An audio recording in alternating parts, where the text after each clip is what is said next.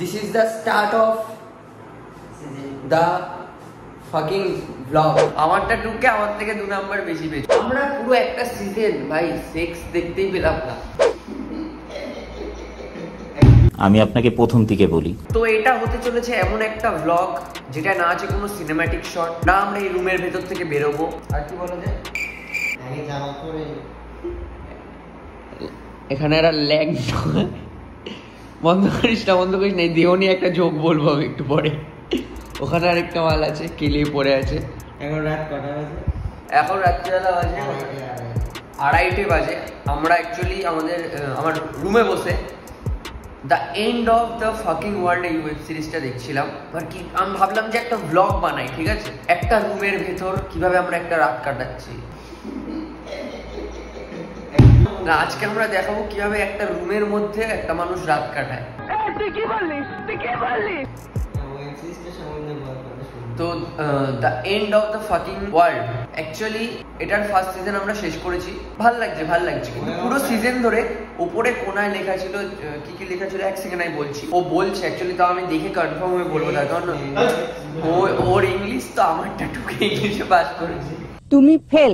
দু নাম্বার বেশি পেয়েছে আমারটা টুকে আমার থেকে দু নাম্বার বেশি পেয়েছ। নিজের নামের বানানটাও ঠিকঠাক লিখতে পারছ না। গৌতম সাহাকে লিখতো গৌতম সানা। না হাতে লেগে রাখা। এইচটা এইচটা এন হয়ে যেত। তো আমি দেখে বলছি এই সিরিজটায় কি কি দেখিয়েছি? তো এটার উপরে লেখা ছিল সেক্স ব্যাড ল্যাঙ্গুয়েজ আর ছিল ভায়োলেন্স তারপর সেলফ হার্ম এইসব লেখা ছিল। আমরা পুরো একটা সিজন ভাই সেক্স দেখতেই পেলাম না।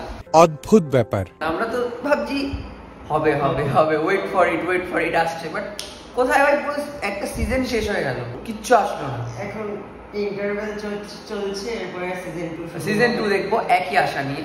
কিন্তু ও বাইরে বলে রাখি এই ভিডিওটা বড়রা বড়দেরকে সরি এখানে পুরো বাওয়াল ছাড়া আর কিচ্ছু নেই ভিডিওটায় কোথায় যাবি এত রাতে? আরে আমাদের এত রাতে কোথায় যাবি? আমাদের এখানে জোম্যাটো আসে না ওই জন্য আমাদের সাত যেতে হয় হাট খোলা অবধি। চায়ের দোকান চায়টা ফ্রি ফ্রি খোলা আছে। এই রাত্রি আড়াইটার সময় যদি বাড়ি থেকে বেরিয়ে চা খেতে যাই না গরম চা বাবা গায়ে ঢেলে দেবে আমার। কেলিয়ে বৃন্দাবন দেখিয়ে ঠিক আছে? জানতে অত আমার চায়ের নেশা নেই ভাই। একটু একটু একটু অ্যাঙ্গেল চেঞ্জ করে বলি নাহলে না বোরিং লাগবে। একটা রুমের ভিতরে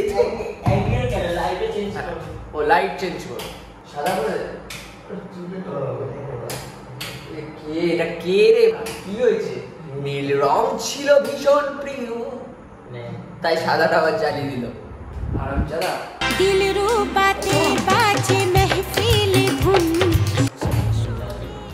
তো এই সিরিজটায় না ছেলে যেটা যে ছেলেটাকে দেখানো হয়েছে ছেলেটা খুব রোগা। আর শরীরটা না একটু অন্যরকম মানে ন্যাচারাল লাগছিল না বডিটা দেখে।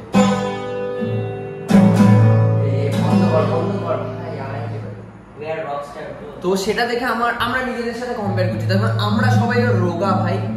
পুরো হ্যাঙ্গারে ঝোলানো যাবে এতটা রোগা। কিন্তু করিস না করিস না এসব করিস কিন্তু ছেলেটার শরীরটা না একটু মানে বিকলাঙ্গ টাইপের লাগছিল ঠিক আছে? তো সেটা দেখে আমরা নিজেদের সাথে কম্পেয়ার করছিলাম তখন মনে হলো যে আমার আর অভিষেকের সাথে কম্পেয়ার করে লাভ নেই। তখন এখানে বিকলাঙ্গ শরীর একমাত্র ইমালটার রয়েছে। এই দুপাশে কাঁধের একটু দেখাই সব থেকে সুন্দর দেখতে আমি ওই জন্য আমাকে না না, একটু দেখা কাঁধের দুটো দেখা। দেখা না দুটো দেখা। সব থেকে সুন্দর দেখতে মেয়েদের তো সুন্দর দেখতে হবে নো ডাউট বন্ধু। বলো। তাও ঠিক এত রাতে একটা ছেলের জামা খুলে আপনি কিন্তু আমি বলছি ওর এই দুপাশে কাঁধে না দুটো একটা কাঁধ তা অভিষেকের থেকে কনফার্মেশন নেব। বল ওর কাঁধের এ পাশে একটা কাঞ্চনজঙ্ঘা একটা আমিও রোগা। ওর যে ফিউচারে গার্লফ্রেন্ড হবে বা এই এই মুহূর্তে বর্তমানে যে রয়েছে যার সাথে ভিডিও কলে কথা বলছিল।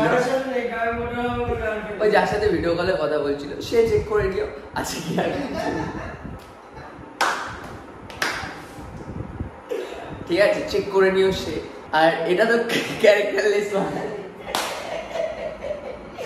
আজ অব্দি না ওর কোনো জব টিকেছে না কোনো রিলেশনশিপ টিকেছে ঠিক আছে?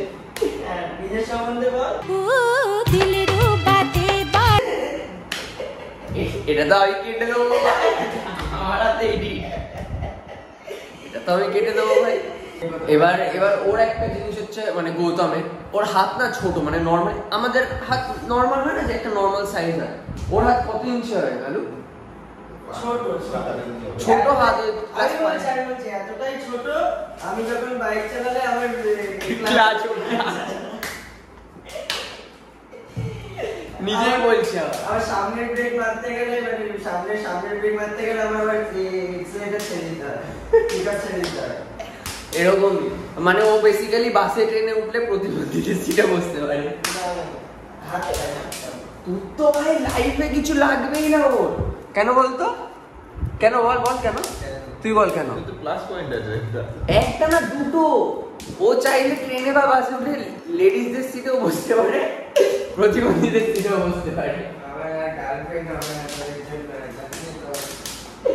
না না ওর সাথে যে ওর সাথে ভিডিও কলে কথা বলছিল খুব ভালো ছেলে। শুধু ওই দুপাশে একটু কাঞ্চনজঙ্ঘা মাউন্ট এভারেস্ট ওটা তো শারীরিক ব্যাপার। আর আমরা সবাই সুন্দর ভগবান আমাদের সুন্দর বানিয়েছে। ভগবান যা বানিয়েছে সেটাই সুন্দর সোজা কথা।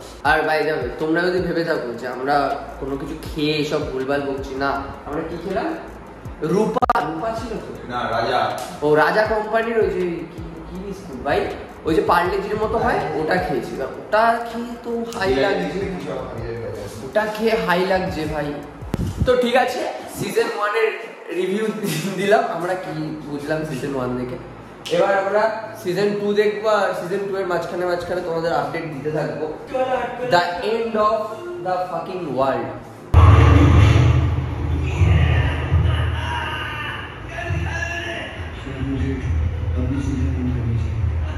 একটা উইকেট পড়ে গেছে। তোর উইকেটটা দেখ। আমার উইকেট টপ আমার উইকেট সবসময় top But how it possible?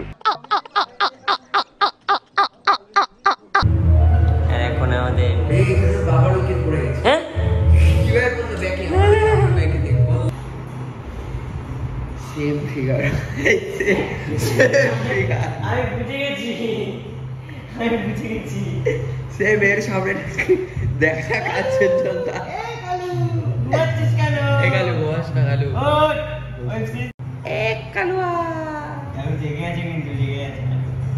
এগালু কেউ নেই রাতে কথা বলার জন্য। সবাই সবাই পড়েছে? তুইও আমাদের কোনো মূল্য নেই না। কালু হচ্ছে এমন একটা ছেলে যে কোনো মেয়ে বান্ধবী পেলে বা গার্লফ্রেন্ড পেলে মেয়ে পেলে বন্ধুদের ভুলে যায় সেকেন্ডের মধ্যে। চারটে পাঁচটা অব্দি জাগতে পারে তখন। কাজুজঙ্কা দেখা। শুধুমাত্র কালুর জন্য এই ওয়েব সিরিজটা আমরা হিন্দিতে দেখছি আর ওই মালটাই ঘুমাচ্ছে পড়ে পড়ে। গার্লফ্রেন্ডের বিয়ে হলে গার্লফ্রেন্ডের এরকম হওয়া উচিত ভাই। কোথায় এখানে এই মেয়েটার বিয়ে ঠিক হয়েছে মেয়েটা নিজের বয়ফ্রেন্ডের সাথে পালাবে বলে চলে আসলো। আর আমাদের এখানে বলে বাড়ির লোক মানছে না। এটা কোনো কথা? বাড়ির লোক মানছে না বলে অভিষেকের তিনটে ব্রেকআপ হয়েছে। ওর হলো দোর খোলো। খুকুমনি ওঠরে আমরা এক রাতের মধ্যে মানে সন্ধ্যেবেলা থেকে দুটো সিজন শেষ করলাম। End of the fucking world আর মাঝখানে চারটে আহ দুটো সিজন দেখার পর আমরা যেটা উপরে লেখা ছিল সেটা দেখতেই পেলাম না। সো জানি না ব্লগ কি ব্লগ হলো বাট এটা আমি আপলোড করব। আর এরকম ছোট ছোট দেখেছে আমাদের সাথে অনেকক্ষণ ও কটা সেকেন্ড সিজনে দুটো একটা এপিসোড দেখে। দুটো একদম তারপর ঘুম তাই না? এমালটা মাঝখানে একটা এপিসোড দেখেনি। ও মাঝখানে একটা এপিসোড ঘুমিয়ে পড়েছে। চারটে এপিসোডের পর আমরা ব্লগ করেছিলাম বাট সেই ক্লিপগুলো ডিলিট হয়ে গেছে। So the end of the fucking ওয়ার্ল্ডের সাথে সাথে the end of this fucking blog